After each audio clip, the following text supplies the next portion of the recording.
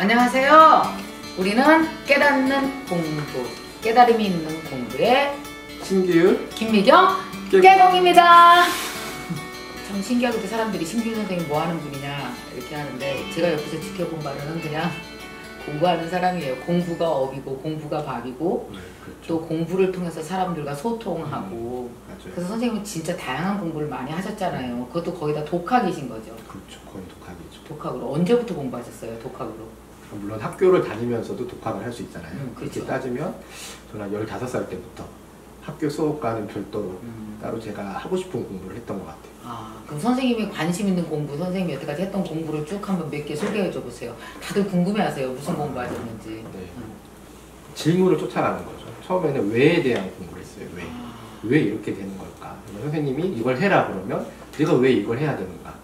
어, 어떤 뭐 수학을 배우더라도 주로 이제 시험에 대한 답을 배우잖아요. 그렇죠. 그렇지만 저는 혼자서 왜 이게 이렇게 될까를 아, 공부를 잘할 수가 없었겠죠. 그렇지. 멀리 네. 떠났겠네, 항상. 그렇죠. 어, 그래서 한참 왜에 대한 공부를 하다가 네. 이제 좀 더 어른이 되고 나서는 그럼 네. 어떻게 해야 되는가에. 대한 공부를 하기 시작했죠. 그러면 주로 이제 과목으로 치면 선생님 제가 아는 공부만 해도 깨다잖아요. 음, 그래서 지금 뭐 장자, 뭐 노자, 음. 그 다음에 주역, 음. 그 다음에 또 무슨 공부했어요? 뭐 물리학, 과학도 공부하신 것 그렇죠. 같고. 그리고 동양에 대한 의학이나 아니면 어허. 차에 대한 것들, 차. 네, 사람 몸에 대한 것들, 그래, 맞아요. 그리고 뭐 문학. 제 전공은 원래 문학이죠. 어, 선생님 네. 문학 하셨었고 전공이 음. 문학이고 그러면은 또 선생님의 별자리도 공부하셨었고 어, 그렇죠. 별자리. 정말 네. 다양한 우주 천지에 대한 그렇죠. 공부, 우주 만물에 네. 대한 공부를 하고 계십니다.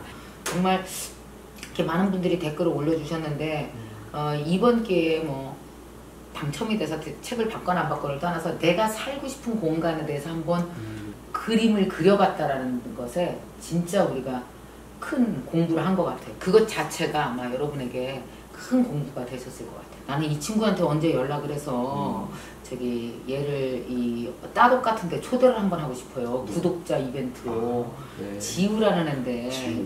이렇게 댓글을 꾸준히 올려주는데 얘가 12살 꼬마예요. 아. 근데 이 깨공에 봐요. 음. 댓글 많이 아, 네. 내가 지우랑 얘기 몇 번 했거든요. 네네네. 이 지우 좀 한번 초대해라 언젠가. 우리 가장 최연소 음. 어? 구독자로서 봐. 얼마나 댓글도 이쁘게 달았냐면 저는 12살 꼬마 학생이에요. 또 왔어요. 오늘도 영상 재밌게 보았어요.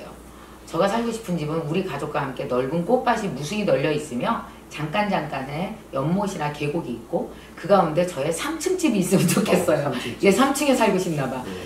그 이유는요 도시 생활을 하면서 너무나 자연 친화적인 장소가 별로 없어서 맑은 공기는 산이나 시골이 더 좋지만 교통시설은 도시 교통이 편리한 것 같아서 도시에 살거든요 근데 복잡한 도시보다는 넓고 마음이 평온해지며 복잡하게 살고 싶지 않아서 넓은 초원과 물소리가 나는 계곡이나 연못이 있으면 좋을 것 같아요 정확히 정리했어요 이 친구가 가로쳐서 네. 우리 가족과 함께 생활하며 넓은 꽃밭과 연못이 있으면 3층 집이 있으면 좋겠어요. 너무 귀여워. 얘 3층 집 너무 좋아하나 봐. 지우야! 3층 집에 살아라. 3층 집에 사는 남자랑 결혼을 해야 되나? 아이고. 그래서 이 친구가 네. 되게 어려운 음. 영상도 다 보고 아. 어린애가 이해할까 싶은데 어. 12살이면 애기잖아요, 그렇죠, 지금. 그렇죠. 이제 네. 4학년, 5학년인데 이렇게 몇 학년이지? 5학년이지. 아우, 귀여워라. 그래서 언제 한번 지우를 초대해서 내가 얘기를 한번 해보고 싶은 생각이 있어요. 저도 한번 귀여워. 보고 싶네요. 보고 싶죠. 네, 네. 아유, 지우야, 연락하자, 우리. 어, 그래. 자, 그러면은 12살 지우 학생을 포함하여 네. 제 연세 많으신 분들까지도 음. 우리 깨곡 너무 좋아하거든요. 네. 오늘 선생님 특히 지우를 위한 일일 수도 있겠네요. 그렇죠. 지우 왜냐? 같은 학생을 위한. 그렇지. 오늘은 공간 중에서도 학생들을 위한 지우 같은 학생들에게 정말 도움이 될 만한 공간 공부입니다. 맞아요. 주제는 뭐예요? 공부, 공부 하는 방을 어떻게 꾸밀 것인가. 아, 공부방에 대한 네. 깨공입니다. 오늘은 공부방. 자, 선생님 먼저 공부방에 대해서 우리가 제일 먼저 가져야 되는 생각 얘기해 주세요. 이제 이 깨공을 하면서 여러분들이 네. 절대 잊으면 안 되는 게 음, 공간은 언제나 내 내면을 반영하고 있다. 네, 그래서 내가 공간을 어떻게 꾸미느냐가 결국 내 생, 내가 생각을 어떻게 하고 있느냐에 음, 어떤 거울 같은 역할을 맞아요. 한다라는 거. 음, 그거를 잊으시면 안 돼요. 네, 그렇게 얘기했을 때 음, 음, 공부방에서 네. 과연 내 지식에 대한 어떤 생각을 가장 잘 반영하고 있는 네. 가구나 소품이 있다면 어떤 걸까요? 공부방에서 네. 어, 책상이요. 책상. 나는 책상을 네. 되게 좋아하거든요. 음. 나 책상을 저는 지금 현재 쓰고 있는 책상이 몇 년 됐냐면은 한 15년이 넘었어요. 음. 아또 하나 책상은 언제냐면 우리 큰애 다섯 살 때 샀으니까 24년이 됐네요. 음. 근데 그 책상이 너무 좋아요. 음. 왜 좋으신가요? 그? 어, 내 피땀이 묻어 있으니까요. 그러니까 엄마들이 왜 부엌에서 밥하면서 이렇게 내 손이 어린 그릇이 있듯이 나는 그 책상에서 늘 공부했던 거예요. 음. 그래서 뭐랄까 진한 동지 의식이 느껴진다고 해야 되나 오랜 옛날에 내가 고생한 흔적이 있어서 음. 그 되게 좋아요. 한 번 되게 화가 나서 내가 발로 찬 적이 있거든요. 책상 그거 듬뿍 들어간 거 그대로 있는데 음. 아 그때 내가 뭔가 강의 준비를 하다가 너무 안 돼서 화가 나갖고 음. 그런 적이 있는데 그것조차도 나한테는 추억이에요. 그내 삶의 역사가 배어 있는. 예 맞아요 역사예요 그야말로. 제가 예전에 그 박원순 시장 시장실에 한번 인터뷰를 간 적이 있었는데 예. 거기에도 그분은 이제 책상은 아니지만 의자가 하나 있었어요. 어. 근데 자기가 가장 존경하는 선배 변호사의 의자래요. 인권 운동을 하셨던 분이죠. 아. 그 의자를 시장실에 갖다 놨더라고요. 아. 자기가 힘들거나 마음이 흔들릴 때는 그 의자에 앉아보거나 그 의자를 보는 거죠. 음. 이런 식으로 그런 가구, 특히 내가 가- 거기서 공부를 하고 뭔가 사색을 했던 네. 의자나 책상은 음. 굉장히 어떤 나의 또 다른 자아 같은 아. 가구가 되는 거죠. 그런 게 있을 것 같아요. 그 오늘 선생님은 특히 이제 공부방에 대해서 얘기를 하는데 엄마들이 되게 관심이 많으실 텐데 이 책입니다. 이 책이요. 어, 운을 만드는 집 책에 선생님이 특별히 엄마들이 되게 관심 있어 하는 챕터 하나가 아예 네. 여섯 번째 챕터가요. 공부 잘하는 아이 방의 비밀이라는 게 있어요. 거기에 총 여섯 개 꼭지의 글이 쓰여 있는데 제가 소개해드리면 첫 번째 책장을 보면 아이의 뇌구조가 보인다. 두 번째 집중이 잘 됐던 공간을 아이 방에 그대로 적용을 해라. 또 세 번째는 책장 높이만으로 공부방의 기류가 바뀐다. 책장 높이 과연 어떤 말을 해주실지 어, 선생님이 또 아이 방의 침대는 어느 방에 두는 것이 좋을까? 학습력을 높여주는 백색 소음 활용법 부모는 아이의 탐낭성이 되어야 된다. 이렇게 정말 알 것 같기도 하고 모를 것 같은 말들이 네, 쭉 어려운 말도 있고 어, 쉬운 쓰여 말도 있는데 있죠. 네. 오늘은 이 챕터 6에 있는 것 중에서 중요한 얘기를 다 가르쳐 주실 네, 거죠. 네, 네, 여러분 미리 이 책을 읽으셨던 분은 훨씬 더 어, 이해가 빠르실 것 같고요. 아니면 우리가 한 3, 40분 정도 이야기를 하기 때문에 이걸 다 소화 못할 수도 있으니까 그러면 여러분 반드시 우문을 만드는지 신기루 선생님인가 이 교재를 사서 학생이 교재가 없으면 학생이 아니잖아요. 그 교재를 사서 보시기 바랍니다. 네. 그래서 첫 번째 주제는 네. 책장을 보면 아이의 뇌 구조가 보인다. 아, 네. 그리고 제가 그 갔던 집에 고등학생 아이예요. 네. 고등학생 아이인데 약간 공부에 슬럼프기가 왔더라고요. 그래서 음. 이제 그 아이의 공부방을 봤는데 굉장히 특이했던 점이 뭐냐면 그 아이의 책장 고등학생인데 어. 유치원 때 공부했던 학습지 응. 그리고 초등학교 때 봤던 무슨 그런 동화책들 만화책 뭐 이런 거. 그리고 자기가 이때까지 썼던 그런 문제집이나 뭐 학습지들이 막 뒤엉켜 있는 거예요. 그대로 다 있어. 그렇죠. 그 멀- 책장에. 멀- 네, 멀리서 보면 그런 것들이 가득 차 있으니까 네. 굉장히 뭔가 이렇게 튼실한 느낌을 주죠. 근데 음. 하나하나 보면은 정말 다 쓸데없는 책들, 지금 음. 아무 관련이 없는 책들이 막 두서없이 꽂혀져 있는 거예요. 그렇죠. 어. 그런데 아까도 얘기했듯이 공간은 나의 뇌를 반영한다. 그러니까 나의 마음을 반영한다라는 거잖아요. 책장을 그렇게 꾸민 사람들은 자기가 지식을 다룰 때도 그런 방식으로 다룬다라는 걸 암시할 수 있습니다. 음. 무슨 얘기냐면 그 고등학교 1학년 학생의 머릿속에는 네. 정보에 대한 옥석이 없는 거예요. 뭐가 음. 중요하고 뭐가 중요하지 않은지 네. 그리고 지식을 어떻게 배열해야 되는지에 대해서도 음. 어떤 한 규칙이나 어떤 큰 그림이 없는 거죠. 네, 네. 음, 저는 음. 이제 이런 거를 공부에 대한 저장 강박증이라고 설명하거든요. 아. 그러니까 공부에 대한 자존감이 낮은 아이일수록 네. 버리지 않고 무조건 모아두는 거예요. 음. 버리는 거는 마치 내 지식이 사라지는 것만큼 불안한 거죠. 음, 음. 그러니까 계속 모아둬요. 초등학교 3학년 때 문제집도 그대로 있고. 그렇죠. 그러면서 보지도 않을 거예요. 안 그냥 보지, 무조건 당연히. 쌓아놓는 거죠. 아하. 그런데 이런 분들, 특히 학생이나 어른이나 자기 서재의 책장을 보면 이렇게 책장을 꾸며놓고 있는 분들이 되게 많으세요. 아. 그러니까 도대체 어울리지 않는 책들이 서로 연결돼 있고, 음. 그 다음에 이제는 유통기한이 다 된 책들도 그렇죠. 꽂혀져 있고, 좀 아무 의미 없는 책들이 음. 두서없이 있는 경우가 되게 많은 거죠. 음. 그럼 저 여기서 선생님 내가 우리 중학교 2학년 아이를 키우잖아요. 음, 그럼 선생님의 얘기를 들어보면은 우리 막상 내가 내 딸 윤서의 방을 생각해 보니까 걔도 그대로 있어요. 아, 그래요. 그대로 있어요. 왜 안 치웠는지 한번 가서 물어봐야겠어요. 음, 왜안 치울까? 어, 초등학교 때 그러니까 어떤 추억이 될 수도 있지만 사실 추억이 아닌 것들도 있거든요. 문제집 같은 거는. 추억이 너무 많은 거죠. 그러니까 너무 많은 좀 거죠. 줄일 필요가 있어요. 추억을 그러면 선생님 책장 정리는 엄마가 해주는 게 좋을까? 애가 아. 직접 하는 게 좋을까요? 아무 효과가 없습니다. 누군가가 해주면 아무 효과가 없고 어, 이걸 일단 알아야 돼요. 이거를. 그러니까 이거 책장에 아. 대해서 어, 내가 읽었던 책들, 그러니까 내가 음. 공부했던 어떤 지식의 그런 어떤 배열들이잖아요. 네, 네, 그런 네. 것들을 아. 내가 스스로 어느 순간 아. 제대로 배열할 수 있을 때 그때가 내 머릿속에 있는 지식을 내 스스로 잘 편집할 수 있을 때이기도 하죠. 그런- 그러니까 사실 선생님 말씀대로 책장 정리는 또 다른 뇌의 편집이거든요. 그렇죠. 내 지식의 편집이에요. 맞아요. 버릴 걸 버리고 가질 걸 갖고 음, 또 내가 더 집중해야 될 것들을 메인 책꽂이에 꽂고 맞아요. 아닌 건 위에다 올리고 그렇죠. 가끔씩 추억으로 들 건 두고 그렇죠. 아닌 거는 삭제해 버리고 이게 음. 진짜 뇌를 편집하는 거기도 하네요. 그렇죠. 지식의 편집. 그래서 여기도 보면 책장에 수백 권의 책들이 있는데 어, 어. 굉장히 일사불란하게 다 정리가 돼 있죠. 네. 그래서 전혀 뭐 이 책장을 가진 사람의 뇌는 굉장히 어떻게 그 뭐라 그럴까 마치 도서관처럼 네. 체계적으로 잘 정리가 돼 있어. 이 말은 내가 필요할 때 언제든지 꺼내 쓸 수 있다는 얘기죠. 이 지식을. 그러니까 아이들에게 스스로 책장 정리를 스스로 하게 해서 자기 지식과 자기 뇌를 편집할 수 있는 기회를 주는 건 그렇죠. 정말 중요하겠네요 그럼. 아이들한테. 네. 아 책장이 많, 많고 주- 크고 뭐 좋다고 좋은 게 아니에요. 어, 절대 뭐? 책이 많고 좋은 게 아니, 아니죠. 아, 네.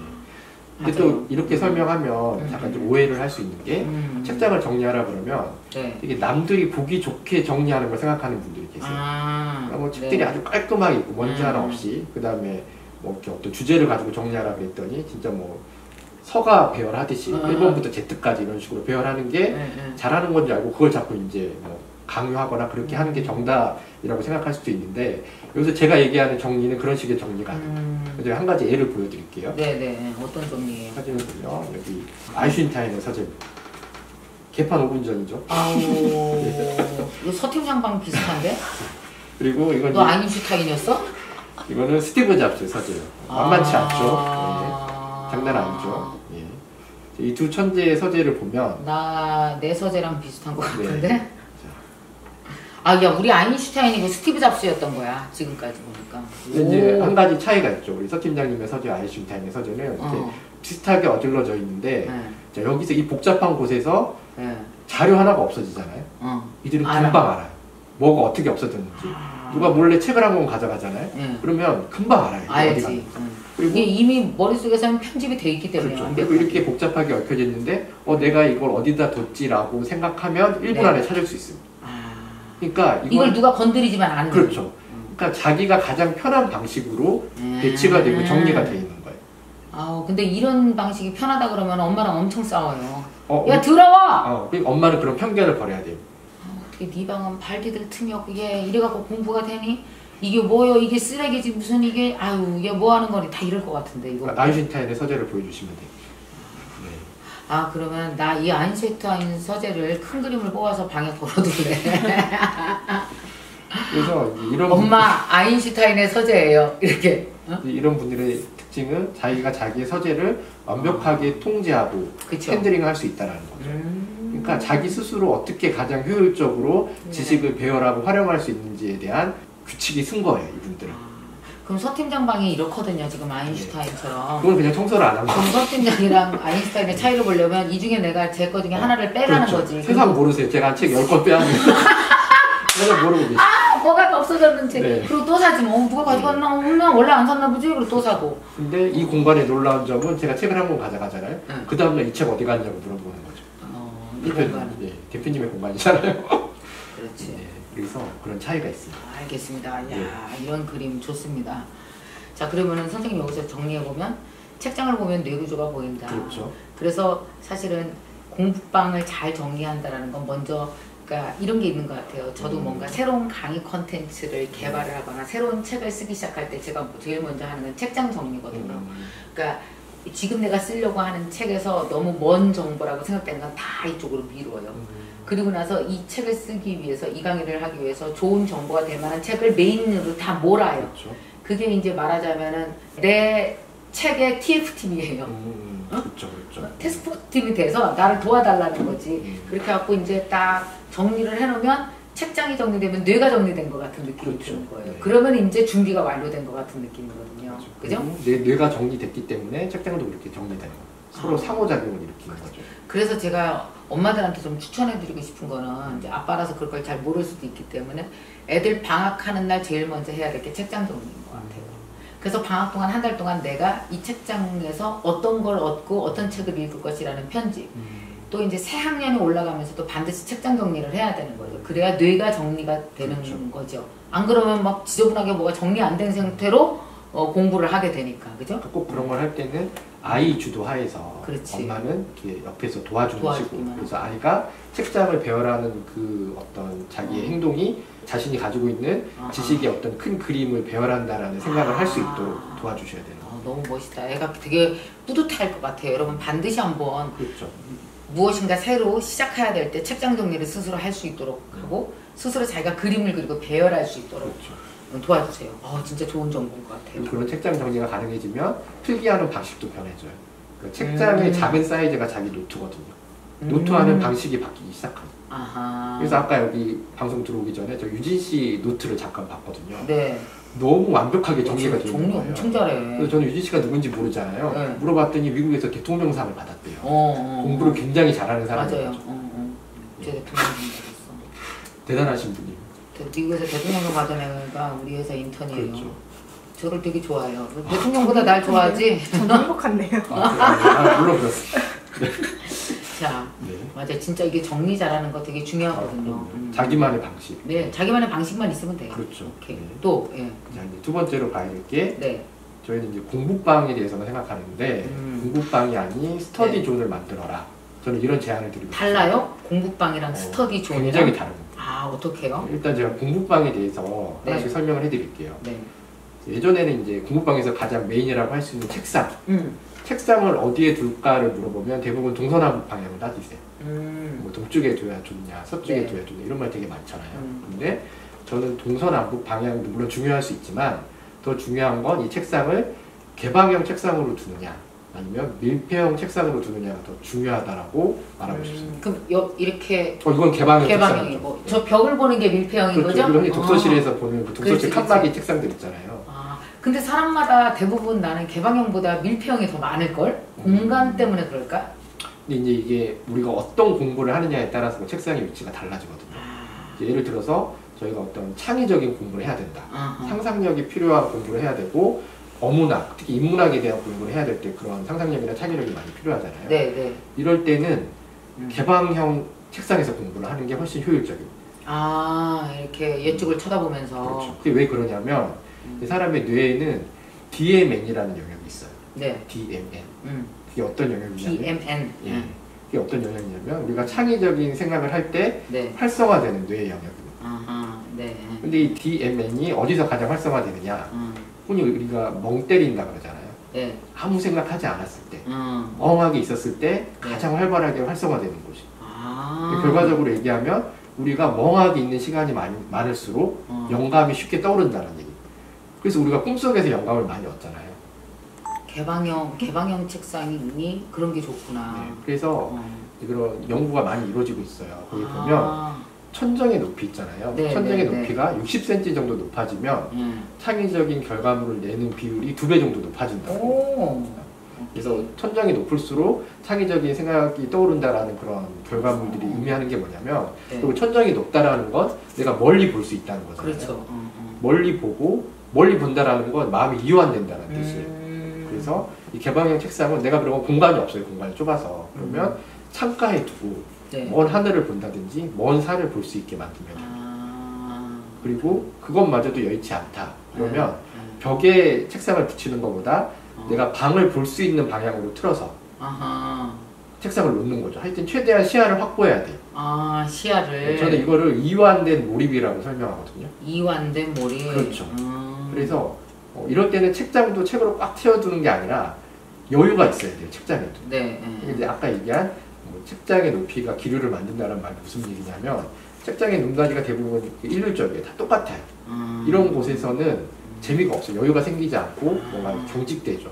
그러니까 되게 자유, 자연스럽게 음. 책상의 굴곡을 살리고 그러니까 책장의 굴곡을 살리고 그 안에도 책 말고 내가 좋아하는 소품이나 이런 걸 갖다 놓으면 그렇죠. 훨씬 마음의 여유가 생기고 이런 걸 가장 잘 실현하고 있는 분이 누구시냐면 정치호 작가라고 아시죠? 예, 알죠. 저기 TV 응. 만드신 분 네, 네, 그리고 네. 언모스트라는 디자인 그룹을 이끌고 계시는 분 예, 예. 크리에이티브 디렉터로 되게 유명하신 어, 분이시죠. 정치호 작가 너무 잘 알죠. 그분- 이번에 저 정치호 작가가 그 디자인한 거 태극기도. 음.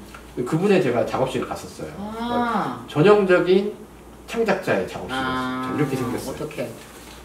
음, 오, 일단 시야가 뻥 뚫려 있죠 앞에. 그렇죠. 예. 어. 그리고 이 옆으로 보면 어, 네. 참 산만하네. 그렇죠. 그런데 이분은 여기서 고시 공부는 못하네. 어, 이게 메인 책상이 아니라 이거는 네. 그냥 이걸 놓는 책상이고 메인 책상은 이렇게 큰 개방형 책상에 이런 아. 물건들이 잔뜩 올려져 있어요. 아, 그곳에서 그분이 하는 건 뭐 하느냐? 네. 자기가 마음에 드는 물건을 쳐다보면서 상념에 잠겨 있는 거. 음, 그러다 뭐가 탁 떠오르면 적어내고 그렇지. 이런 것들을 하는 거죠. 고시 공부 못하겠네. 예, 고시 공부 안 되죠. 그러면 내가 네. 지금 자꾸 선생님 얘기를 들으면서 나는 우리 막내방이 자꾸 떠오르는 음. 거예요. 일단 제일 먼저 해야 될 게 막내와 함께 음. 그, 책, 그 책장 정리를 자기 뇌구조에 맞게 한번 해보라고 음. 해야 되겠다라는 거 하나 음, 어, 이번 주말에 해야지. 그렇죠. 그다음 두 번째는 우리 막내는 되게 아티스트적인 요소가 되게 많은 애인데도 음. 불구하고 그리고 책이 항상 벽을 보고 있거든요. 음. 근데 책상이 벽을 보는 첫 번째 이유는 이삿짐 아저씨 때문이에요. 아, 이삿짐 아저씨가 이사할 때 되게 바빠. 어떻게 어떠나요? 어떠나? 빨리 너무 뭐 우리 급해 빨리 말해 주면 혼나잖아.